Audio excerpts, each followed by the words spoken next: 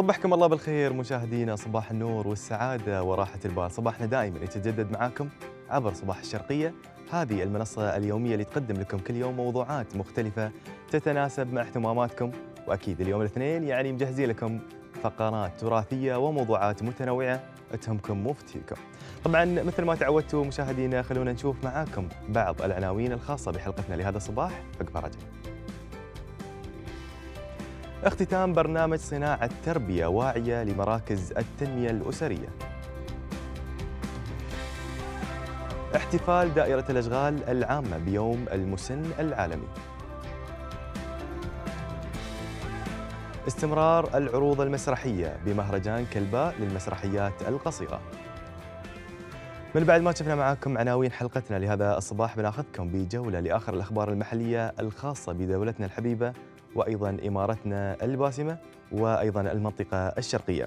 ونبتدي معاكم بصحيفة الخليج مشاهدينا اليوم عندنا الكثير من العناوين وأكيد ننتقي لكم أبرزها لهذا الصباح. وأول عنوان عندنا بتوجيهات ومتابعة الشيخة جواهر ربع قرن تنفذ استطلاعا حول بناء جيل إماراتي يقود المستقبل. بتفاصيل هذا العنوان مشاهدينا بتوجيهات ومتابعة مباشرة من قرينة صاحب السمو حاكم الشارقة سمو الشيخة جواهر بنت محمد القاسمي رئيس المجلس الأعلى لشؤون الأسرة ورئيسة مؤسسة ربع قرن وأيضا تحقيقا لأهداف مئوية لإمارات 2071 الرامية إلى إعادة جيل يحمل راية المستقبل ويتمتع بأعلى المستويات العلمية وأيضا الاحترافية. وأيضا هناك القيم الأخلاقية والإيجابية دعت مؤسسة ربع قرن لصناعة القادة والمبتكرين المواطنين من إمارة الشارقة بأن يشاركون في استطلاع الرأي الذي يتم تنفيذه بالتعاون مع دائرة الإحصاء والتنمية المجتمعية بالشارقة بهدف التعرف على آرائهم وحول طبعا المؤسسة وتفعيل جهودها وتطوير عملها. وأيضا تعتبر مؤسسة ربع قرن التي أطلقت في نهاية سبتمبر في العام الماضي أول مؤسسة إماراتية وعربية وإقليمية أيضا هي طبعا تعمل على بناء وتطوير المهارات الفكرية والقيادية للأطفال والشباب طبعا على مدى 25 عاما وأيضا تحديدا من عمر 6 أعوام وحتى الثلاثين عاما. طبعا مؤسسة ربع قرن مشاهدينا دائما ما هي تكون بصدد كل ما هو جديد يفيد بناء المستقبل وأيضا دفع عجله التنمية في دولة الإمارات من خلال اهتمام بالأطفال وأيضا الشباب. مثل ما ذكرنا هي تهتم بالفئات العمرية من طبعا عمر ست أعوام وحتى الثلاثين عاما. هذا هو الاهتمام الكبير من قيادتنا في دولة الإمارات وأيضا إمارة الشارقة. وأيضا نشكر الشيخ جوهر على هذا الاهتمام الكبير بصناعة القادة والمبتكرين في إمارة الشارقة. أما عنواننا التالي أيضا مشاهدينا ورش في الشارقة لمناقشة قضايا الطفولة. أما في تفاصيل هذا الخبر مشاهدينا يستعد مكتب الشارقة صديقة للطفل لتنظيم ورشة تدريبية في الشهر الجاري حول المبادئ المهي... طبعا المهنية لمعالجة الإعلام العربي لقضايا حقوق الطفل.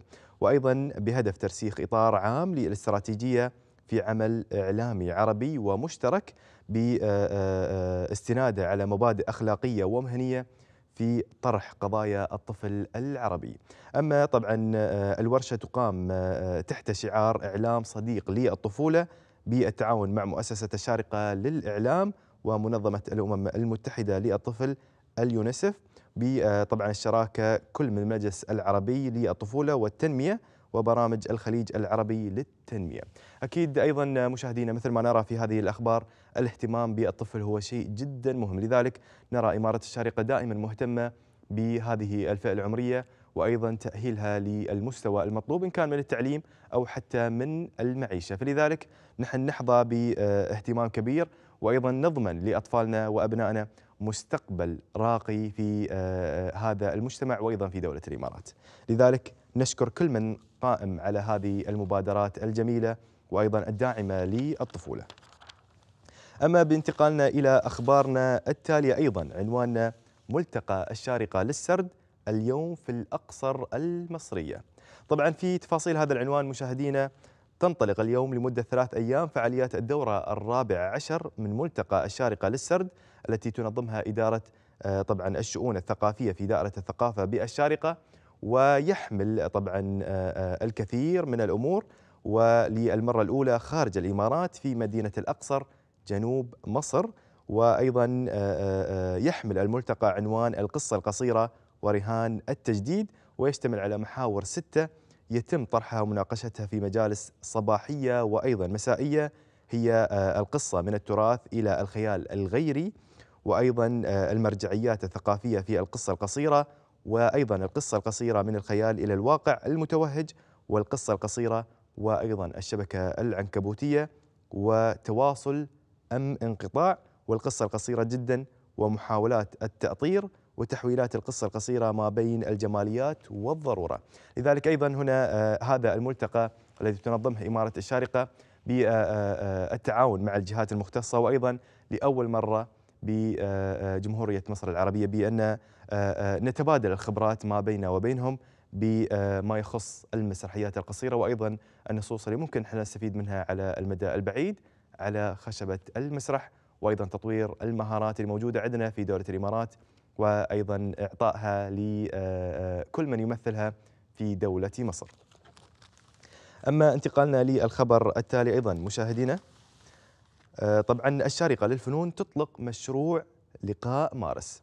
طبعا في تفاصيل هذا أيضا الخبر افتتحت مؤسسة الشارقة للفنون مساء أمس الأول في الساحة المرجية بمنطقة التراث في الشارقة وأيضا في معرض مشروع مارس 2017 في دورته الرابعة ويستمر حتى 30 ديسمبر المقبل. وشارك في المعرض أربع فنانين عرب هم العنود العبيدلي وناصر نصر الله من الإمارات وسفيان زوقار من الجزائر ومحمود الصفدي من لبنان. وأكيد يتضمن المعرض أعمال فيديو وتصوير فوتوغرافي ومنحوتات وأعمال تركيبية متنوعة تندرج ضمن مفهوم الفنون المعاصر وهي في مجملها تستفيد بشكل كبير من التاريخ في إمارة الشارقة المعاصر ضمن هدف محدد ألا وهو إعادة اكتشاف مفاهيم البيئة. لذلك أيضا هنا نرى المشاركة من الفنانين لاكتشاف هذه طبعا المفاهيم الجديدة للبيئة وأيضا مواكبتها مع التغيرات في هذا العالم لما يتطلب هذا التطور. لذلك هنا نرى مشاركة أيضا من الفنانين إن كانوا من الإمارات وأيضا لبنان وأيضا الجزائر بإثراء هذا الملتقى وأيضا إثراء هذا المشروع. في لقاء مارس. أما أيضا خبرنا في جريدة الخليج مؤتمر صعوبات التعلم يناقش أبرز التجارب وأحدث الأبحاث. في تفاصيل هذا الخبر تحت رعاية سمو الشيخ سلطان بن محمد بن سلطان القاسمي ولي عهد ونائب حاكم الشارقة تنطلق بعد غد. فعاليات مؤتمر صعوبات التعلم الأول تحت شعار لتعلم أفضل وأيضا يستمر يومين. وأشارت هنادي السويدي مدير مركز الشارقة لصعوبات التعلم خلال مؤتمر صحفي عقده في مقر المركز الكائن بمنطقة واسط أمس إلى أن الفعاليات في المؤتمر تقام في جامعة القاسمية بالشارقة ويستعرض تسع أوراق عملية بتناول أبرز القضايا المتعلقة بصعوبات التعلم من خلال نخبة من الخبراء والاختصاصيين في المجال داخل الدولة وأيضا خارجها. ولفتت إلى أن المؤتمر الذي يعقد بالشراكة مع وزارة التربية والتعليم ووزارة التنمية المجتمعية باستهداف بالدرجة الأولى للمعلمين في المدارس العامة لتمكينهم من اكتشاف وتطوير مهارات الطلبة من ذوي صعوبات التعلم وذلك بتماشيا مع استراتيجيات الدولة إلى التركيز على جهود التعليم وشموليته. لذلك نرى بأن صعوبة التعليم هنا أيضا يحظى باهتمام كبير وأيضا هذه الفئة تحظى باهتمام من الجهات المختصة بأنهم يطورون من مهارات المعلمين لكي ينقلوها إلى الطلاب وأيضا تطوير مهاراتهم لصناعة أيضا طلبة قادرين على مواكبة هذا العالم وأيضا قيادة مستقبلهم بما يتطلب هذا المجتمع وخدمة وطنهم وأيضا أنفسهم وأسرهم. أما انتقالنا إلى جريدة الاتحاد وآخر أخبارنا لهذا الصباح بالتأكيد خبر جدا جميل وانتشر بشكل كبير هو انقطاع المياه عن مدينة كلباء طبعا في هذا الخبر انقطاع المياه عن المنطقة نتيجة كسر في الخط الرئيسي. كهرباء الشارقة تعيد تشغيل وحدات التحليلية بكلباء طبعا تمكنت هيئة كهرباء ومياه الشارقة من إعادة تشغيل وحدات تحليلية في المياه في محطة كلباء بشكل مؤقت بعد توقفها بنتيجة إتلاف إحدى الشركات التي تعمل في المشروع. في الصرف الصحي بكلباء لخط المياه المرتجع لمحطة التحلية بقطر 1800 ملم وعلى عمق 9 أمتار مما اضطر الهيئة إلى إيقاف وحدات تحليلية مياه البحر عن العمل. وأيضا آه، قد أدى ذلك إلى حدوث آه، آه، نقص كبير خلال اليومين الماضيين في الكميات المياه التي يتم ضخها للمدينة حيث أن وحدات التحلية في المياه وأيضا الآبار التي تنتج ما يقارب مليون ونصف المليون غالون من المياه لا تكفي لتأمين احتياجات المدينة بالكامل من المياه وأيضا التي تقدر بأربع ملايين جالون من المياه يوميا. هذه هي تقريبا حجم الصرف المياه لمدينة كلباء 4 ملايين جالون وأيضا كانت هذه المشكلة بأحد الشركات السبب في انكسار أحد البايبات أيضا الممدة لهذه المدينة ولكن طبعا كهرباء الشارقة تصرفت مع هذا الموضوع وأيضا أنقذت الموقف مؤقتا إلى أن يتم تصليح هذا العطل. لذلك مشاهدينا متابعينا هذه كانت أخبارنا لهذا الصباح وننتقل معاكم نتعرف على درجات الحرارة وحالة الطقس خلال اليوم في المنطقة الشرقية وباقي مدن وإمارات دولتنا الحبيبة.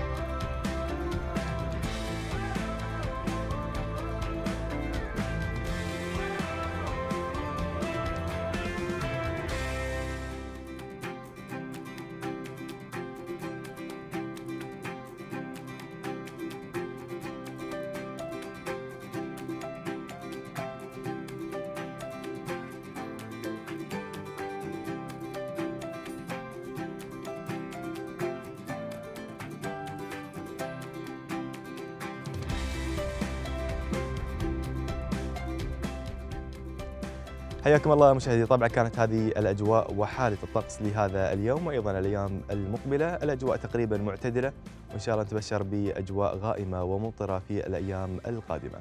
أما موضوع نقاشنا لهذا اليوم بيكون عن هوس التسوق والموضة.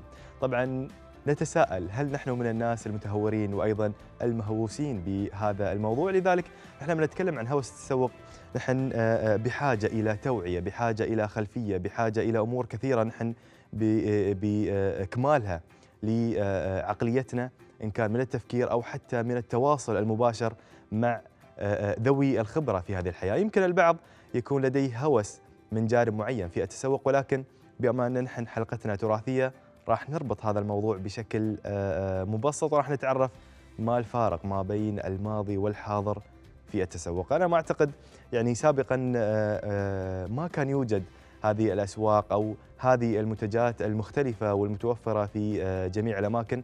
فبالتالي نحن راح نسلط الضوء إن شاء الله على هذا الموضوع وراح نتعرف أيضا على الأشخاص والشخصيات المهووسة بالتسوق وراح نشوف كيف ممكن نعالجها بطريقة سلسة وسهلة. ولكن يجب أن نقتصد بالميزانية وأيضا لازم آه، تكون آه، هناك جدولة لكل الأمور في حياتنا وبالذات اليومية، إذا كانت هناك جدولة سليمة فبالتالي نحن قادرين على نحن آه، آه، نمشي بطريق صحيح دون أن نكون مهووسين بهذا الموضوع بطريقة سليمة.